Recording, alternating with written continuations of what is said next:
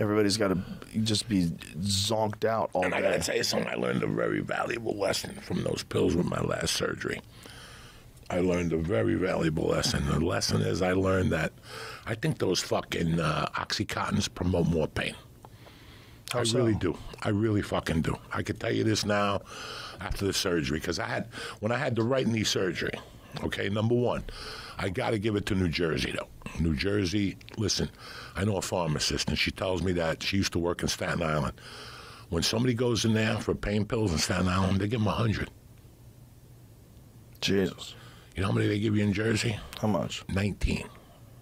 Hmm. They would give me 19 for the week. If you're going to take them for pain every six hours, that don't add up. They didn't give you enough from the beginning. New Jersey does not fuck around. So they're worried about you becoming addicted. They're Yeah, the about DEA went into. Jersey and you can't get none of it. And you know I know everybody. You Yeah. can't get shit in Jersey. Hmm. Shit, not the way it was in LA. But Staten Island's open. Yeah, because New York State is different prescription things. So when a doctor prescribes you OxyContin in New York or Staten Island or for the five boroughs, they give you like 90 of them. Mm. You know, in New Jersey, they give you 19. Look, I thought the pharmacy was robbing me. Like I would get home and go, where'd all the pills go? And I would sit there. I take? No, I just got them. My wife would give them. How the fucking this? They don't give them to you to drive you mm. crazy no more.